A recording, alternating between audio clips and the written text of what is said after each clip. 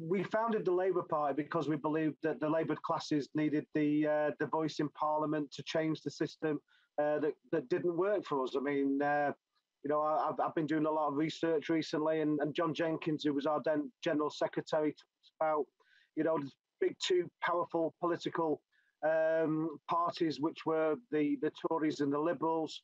Um, and in 1902, his words were that the Liberal Party uh, believed that working people shouldn't go anywhere else, and they didn't have anywhere else to go to.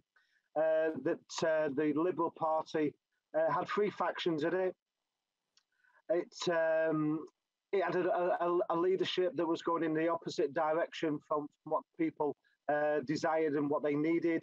Um, and the, the Labour Party offered the best opportunity for, for, for our class uh, to have a representation in Parliament that, that would ensure that working people um, got a, got a, got a, got a, an opportunity to uh, to change their lives. That, that's what the Labour Party was created for. It was to bring about real change, uh, real opportunity.